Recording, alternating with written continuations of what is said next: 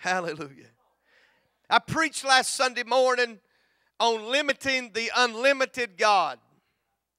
I told you all last Sunday morning that I was going to preach last Sunday night the second part of that message, and I didn't get to because of weather, but I'm here this morning to preach the second part of that message. Is that all right?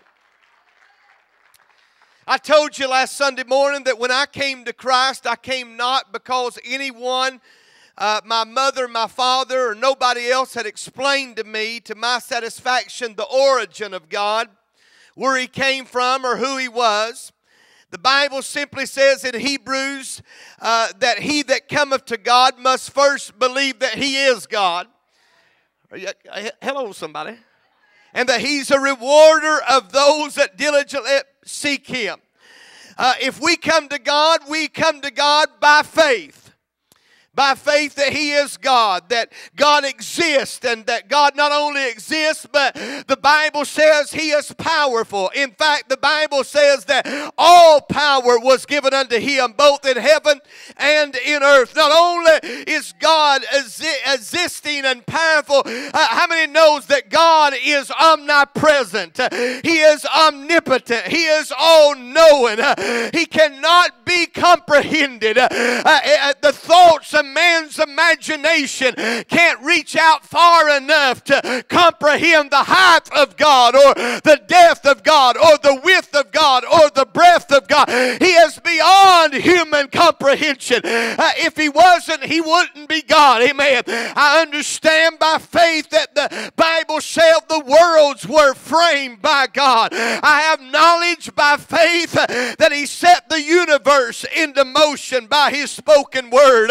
I also realized that after he had created th- all things uh, for his pleasure, there still remained one thing that God desired. Uh, so the Bible said uh, that he pressed himself into the clay of the earth, uh, and out of that mold appeared a man uh, uh, created in the likeness uh, and in the form of the God that created him. Uh, how many knows there is nothing outside uh, of God that he needs, that he cannot speak into existence. He is God. I came by to tell you this morning I'm not talking about Muhammad. I'm not talking about. I'm not talking about some uh, uh, uh, uh crazy statue, uh, some Baal, or some statue that they set up. I'm not talking about a God that is dead. I'm talking about a God that after 6,000 years of creation, He's still moving, He's still breathing, He's still functioning, He's still changing lives. My God, I'm talking we say we serve. His name is Jehovah. He's all powerful, He's omnipresent, He's omnipotent. Beside Him, there is no other. Behold, O Israel, thy God is one. He stands on stage alone. Hallelujah. There laid the mold of a man, lifeless and motionless. But the Bible said that God breathed into his nostrils the breath of life, and Adam became a living soul. He became what God intended for him to become. Are y'all hearing me? A living soul, living, not dead. Can I tell you that man is born of a woman? And few days, the Bible said, uh, he's full of trouble, and soon uh, he's like a, a flower that uh, springs up and then fades away. But can I tell you, Jesus said, I come not into the world, but to bring everlasting life. The thief cometh to steal, kill, and destroy. But I came that you might have life and that you might have it more abundantly. What God wants to do is to take men and women out of their dead sins and their trespasses and breathe the Holy Ghost into their life. And with they become living, moving, functioning body of Jesus Christ. Hallelujah. Adam was created in holiness. and righteousness in the image and the likeness of God. He walked, the Bible said, with the word of the Lord in the cool of the day. He had understanding, he had knowledge. He didn't question uh, uh, who God was or if he existed. He had seen him, he had heard him, he felt him. The Bible says he was covered by him. For in the beginning, all that Adam needed was God. Are y'all hearing me? God had created everything uh, for Adam, and there he stood. All he needed was God. When he took a stroll in the cool of the day, there was God strolling with Adam.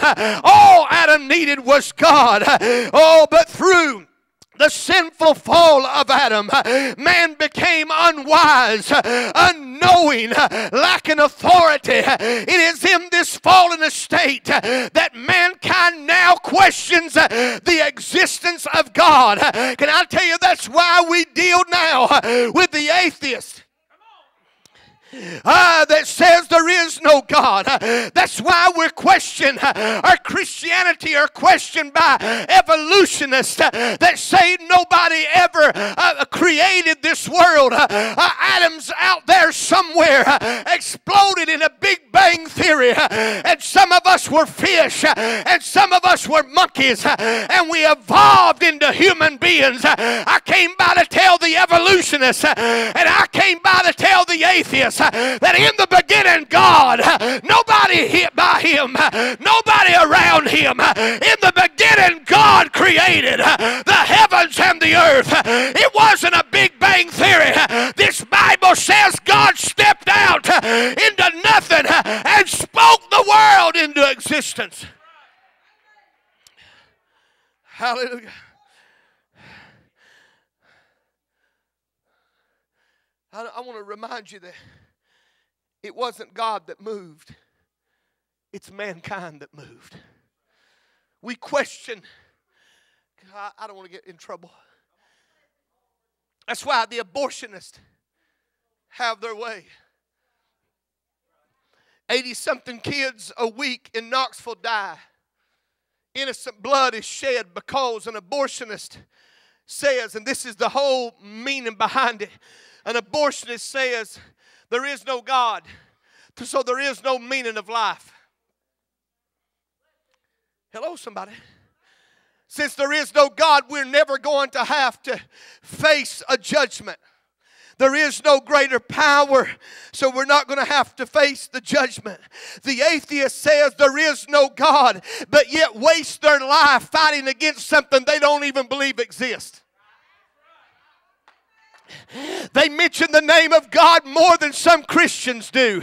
Are y'all hearing me? If I didn't believe that Coca-Cola was a was a was a was a drink, how many knows I wouldn't go to the store to buy it? And if you didn't believe there was a God, why fight against something uh, you don't believe even exists? But can I tell you when hell comes, when death wraps them up and they end up in hell, they won't be one atheist uh, burning in the lake of fire because when they see him come and they stand before him, they'll know within their heart there is a God and they should have turned toward him. God's in the same place he's always been. He's doing the same thing he's always done. Y'all hear me? His characteristics are the same as they've always been. Hallelujah. I'm going to preach here in just a minute. In the beginning, God. Hallelujah. Job found himself telling of God when his three friends came to him. Are y'all with me this morning? Help me preach just a minute. I'm going somewhere uh, Job found himself. They came to accuse Job of sin. Surely, Job, all of this is coming upon you because of sin. After the accusations were made, Job spoke up and said to them, Let me speak now for myself, and then you can mock on. I want to say something to all the mockers of Christianity today. Let me tell you about my God, and then you can mock on.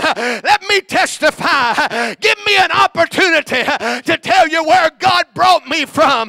Drug addicted, alcohol abuse. Come on, somebody. A life of violence and crime. But when I walked into Macedonia Baptist Church in 1986 on Easter Sunday morning, what AA couldn't do for me, what drug rehab could not do, one trip to an altar at foot of this God, Him laying His hand on me, He set me free of drugs, set me free of alcohol, brought me out of the crime scene, and established my goings. I heard David say, He's picked me up out of the miry clay, set my feet up on a solid rock.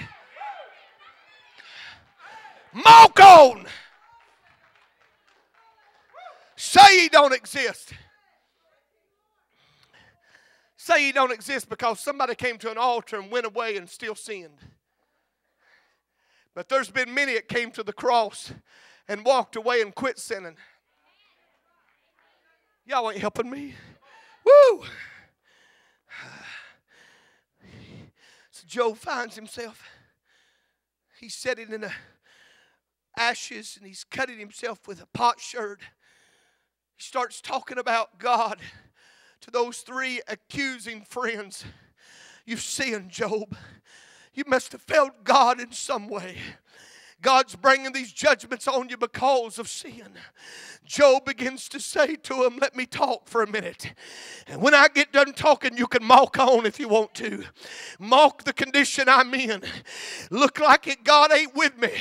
Why? If God was with somebody, why they got to go through t- turmoil? If God's with somebody, why do we face pain? If God's with somebody, why does bad things happen to good people? Job said, If you want to mock on, mock on. But before you do, I'm going to say something. I've got some things to testify about. Job says God created the heavens and the earth. He places the stars in the skies and causes them to burn with fervent heat.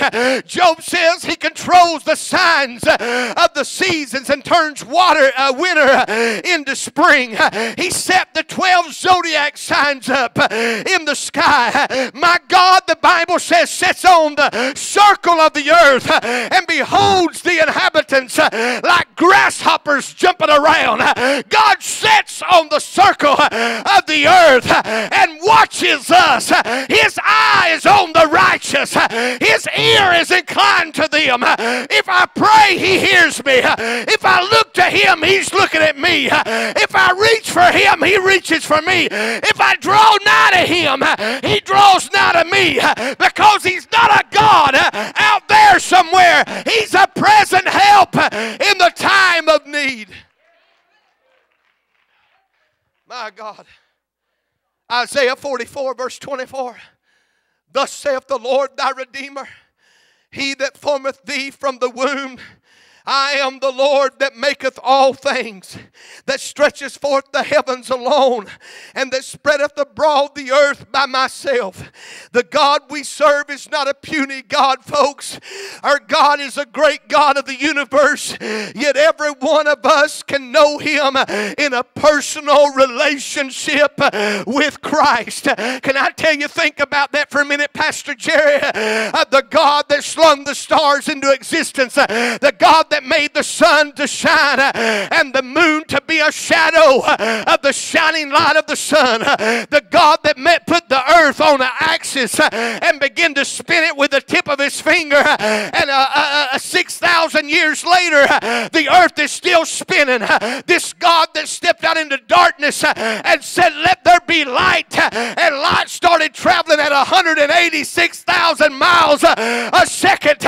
6,000 years later, light is still traveling uh, by the word of the Lord. Uh, this God uh, uh, that holds the stars in his hand, this God that numbered every star in the sky and knows one when, when one falls, this same God loves me and you enough that he wants to have a personal relationship with you. Why would God want a personal relationship with me. I'm nobody. I failed too much. I failed too much. I've done too much wrong. I've sinned too much. You may be thinking to yourself, but that's who he, he came for. That's who he loved.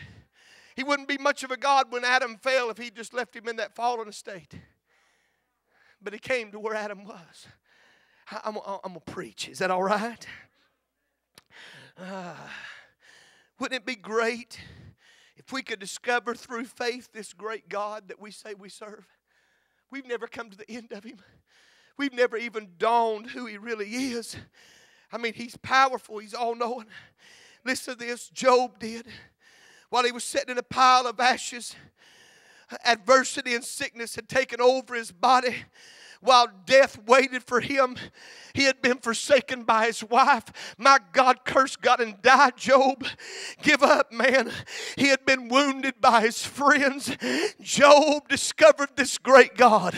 Ain't it amazing that sometimes God uh, has to get us alone? Are you with me this morning? Sometimes uh, God has to get us alone in order for us to discover uh, who God really is. Amen. Sometimes folks have got to walk from us. Sometimes our family forsakes us. Sometimes we feel like we're all alone. Sometimes we got to get down on rock bottom before we can have God to reach down and pick us up. Are y'all hearing me this morning? I came by to preach to you and tell you that it's in those times when you're all alone. It's in those times of ashes. It's in those times of potsherds. It's in those times when they've rolled the coffin Uh, uh, beside of you uh, and death is waiting on you, when infection is in your body, when sickness has taken over, it's in those times that you'll find out God is just a prayer away. He's a whisper away. He doesn't leave us, He's with us always. Hallelujah. It's in those times. Praise God. So Job discovers this great God, this old ancient man of God, while being questioned by his so called friends, bleeding sores from the top of his head to the soles of his feet. Job 21, verse 3 Suffer me now to speak. And after I have spoken, you can walk on. You can say what you want to. Job said in chapter 29, I'll tell you who I am. I am who I am because of God. I want to read something to you. Let me find it right quick. I am who I am because of God. Yes, sir. Listen to this. When I wash my steps with butter, and the rocks poured me out rivers of oil. When I went out to the gate through the city, when I prepared my seat in the street, the young men saw me. This is Job speaking of himself. When the young men saw, saw me, they hid themselves, and the aged men arose and stood up. The princes refrained from talking and laid their hand on their mouth. The nobles held their peace, their tongue cleaved to the roof of their mouth. When the ear heard me speak, then it blessed me. When the eye saw me, it gave witness to me of who I was in the Lord. Don't be accused of me of being nobody. I'm somebody because the hand of God was on me. That's what Job is saying. Listen to this. He goes on to say, Because I delivered the poor that cried, and the fatherless, and him that had none to help him. The blessing of him that was ready to perish came upon me. I caused the widow's heart to sing for joy. I put on righteousness and it clothed me. My judgment was a robe and a diadem. I was eyes to the blind, I was feet to the lame. I was a father to the poor, and the cause which I knew not I searched out. He said, After all of that, I'm trying to find out who God really is. And so now Job is testifying, sitting in the ashes and the potsherds, uh, scraping his sores of his body. And he goes on to say this uh, I'll tell you who I am, uh, but anything I am, it's only by God. When you come to the New Testament, you hear the Apostle Paul say, I am what I am simply by the grace of God. I was a Hebrew of the Hebrews, a Pharisee of the high sect. Concerning the law, I was spotless. Are y'all hearing what I'm saying this morning? But Paul said, I count all of that as dung. None of that matters. It ain't worth anything. But on the road to Damascus, a light started shining out of heaven. I knew the law, I knew the Word of God, but I did not know the God of that Word. I'm telling you this morning, there's one thing to know the shepherd's psalm, there's another thing to know the shepherd of the psalm. And, and Paul said on that road, light started shining, uh, and I heard the voice uh, of this omnipotent God uh, as he spoke to me. And when he spoke to me, it struck me down. God has a way of bringing us to the place he can testify. Job said, I chose out their way, I set chief. I dwelled as a king in the army, as one that comforted those that were mourning. Get this. Job says, I'm everything I am because of God. Don't accuse me if you don't know where I've been. Don't accuse me just because I'm going through something. Don't say God ain't with me just because I'm struggling. Don't say God ain't with me. Can I tell you something? You ought to turn your TV off when all these Johnny come lately prosperity preachers come along. I ain't going to get too many amens on that. Some of y'all support their ministries. Uh, y'all to turn it off when they tell you that when you get Jesus, you'll never have a problem. If you had faith, your bank account would be full. If you had faith, everything's a bed of roses. Well, I'd like to know what they did with Jesus. He said the foxes have holes, Birds of the air have nests, but the Son of Man has nowhere to lay his head. I'd like to know, I'd like to hear their argument on did Jesus have faith? Was Jesus right with the Lord? Right with his Father? Anybody think that Jesus was in the will of his Father? Hallelujah. I'd like to see what they do with that. Tell you who I am. Then, after everything that Job said, I'm, I'm coming to a close right here, but you got to hear this. While Job was speaking to his friends, God was standing over in the shadows, listening to Job talk.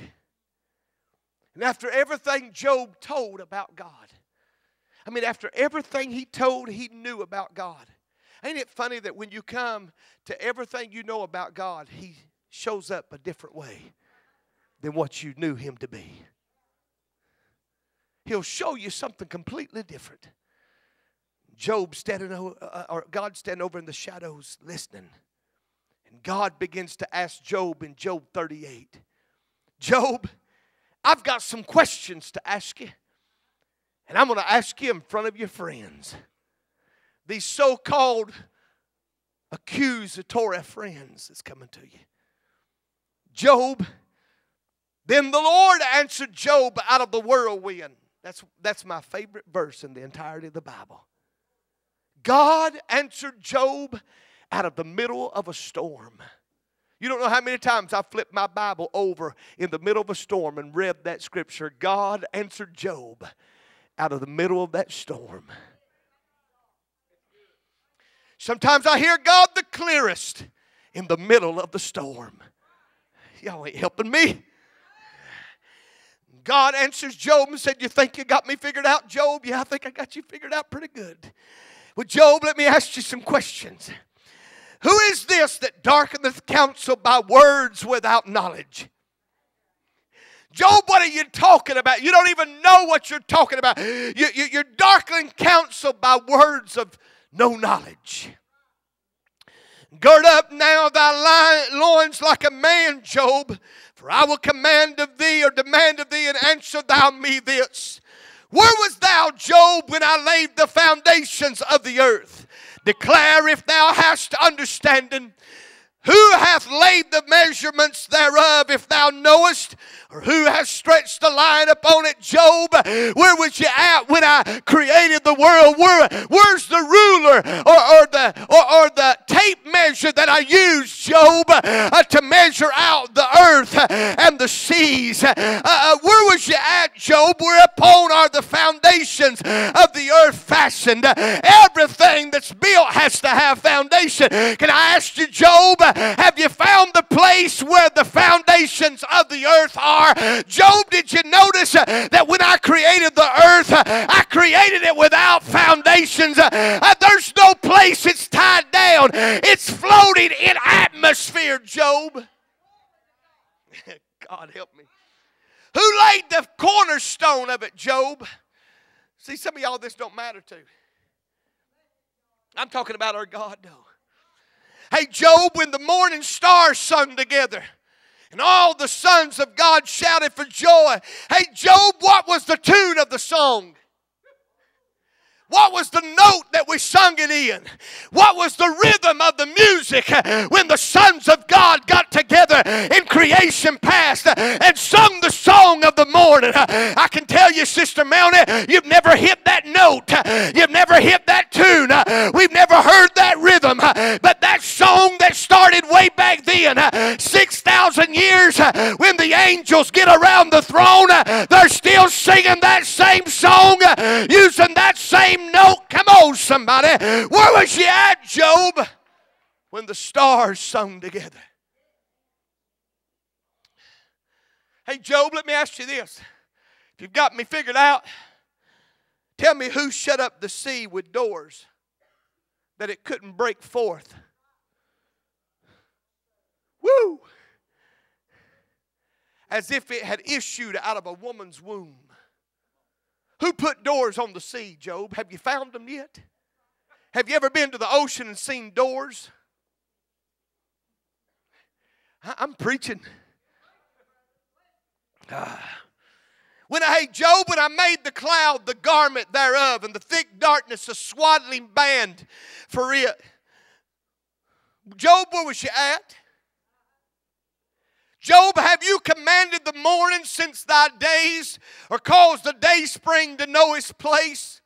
Job, have you commanded the morning sun when it will arise or when it will go down? No, Job, you haven't. Job, if you took hold of the ends of the earth that the wicked might be shaken out of it? Hey, Job, let me ask you this. Where's the springs that the oceans are fed from. God, I could run right now. Hey, Job, have you walked the depth of the oceans to find out the path of it? Hey, Job, has the gates of death been opened unto you? Have you seen the doors of the shadow of death? Hey, Job, hast thou entered into the treasures of the snow? Or hast thou seen the treasures of the hailstones that I've got reserved up? Man, let's power it. Hey, Bo, you can play that piano awful good, son. But you ain't come to the end of God yet. in all of my anointing that I've had over the years, I've never been allowed to walk into the treasure where God stores up snow. Did you know that scientists says that from the first snowflake that ever fell, there has never been another snowflake fell like that one. Every snowflake has been different billions and billions and trillions of snowflakes that have fallen, and God has them all in the treasure. How's He cooled that thing to keep them from defrosting? Job. I mean, when God created the world, He built a treasure and stuck all the snow in there and said, Now don't defrost. I know some of y'all ain't never heard this. Woo! I feel like shouting.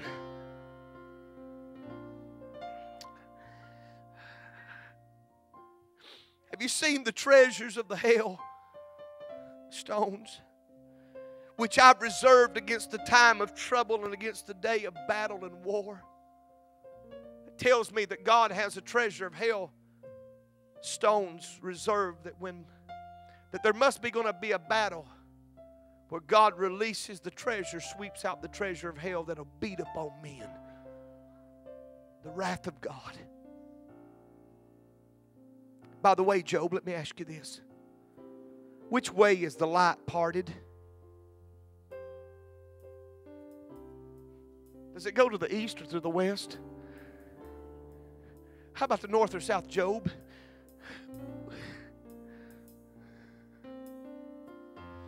Who divides the water above the clouds so that it rains in one area, but it stays dry in another?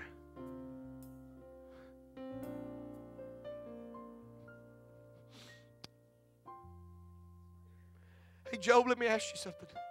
I'll quit when God tells me to. Job, let me ask you something.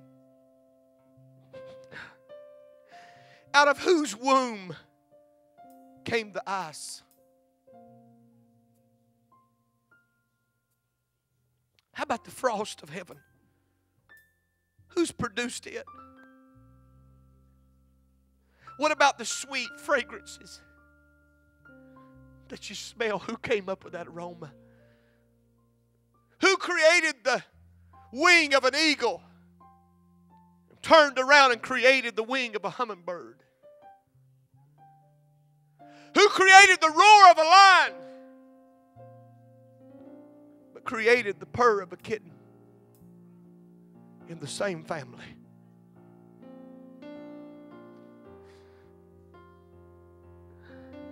Who can number the clouds, Job, except for God? Who can take bottles and bottle up tears of every human that's ever shed a tear and reserve those bottles until the day of judgment? Job, who done it all? When the dust when the dust turns into hardness and the clods of dirt cleave fast together. Job, when it's all said and done, who will still be standing?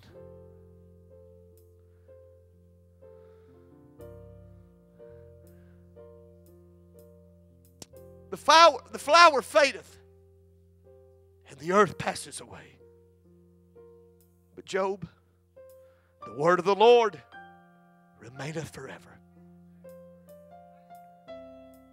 When all the prophets are silenced, when all the gifts are stopped being used, when all of us quit speaking in tongues, when all of the praise and worship stops being resounded,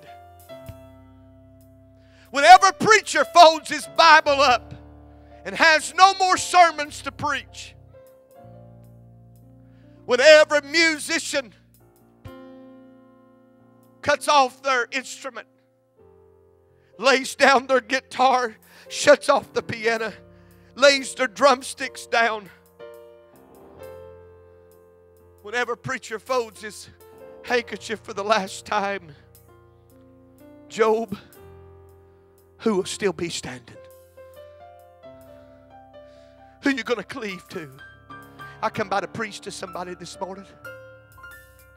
When the doctors look at you eyeball to eyeball and say you're eat up with cancer and there is no hope. And your family can only go so far. And your friends will soon fade out of the room. Who will be there?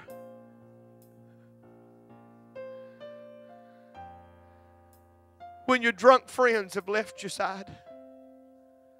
When your pill popping buddies that think you're the party, the life of the party, when they're all dead from overdose. I'm preaching now. When all the good time Charlies and the easy women are gone, who's going to be there, Job? God. He'll be standing somewhere in the shadows. You can find Jesus.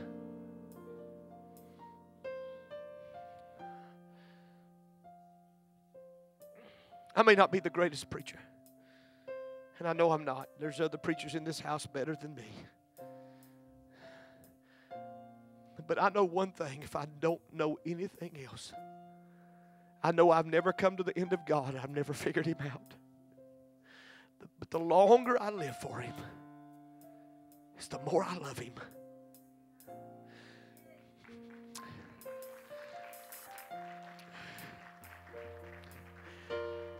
And it's not because of what He does for me, as much as it is because of who He is.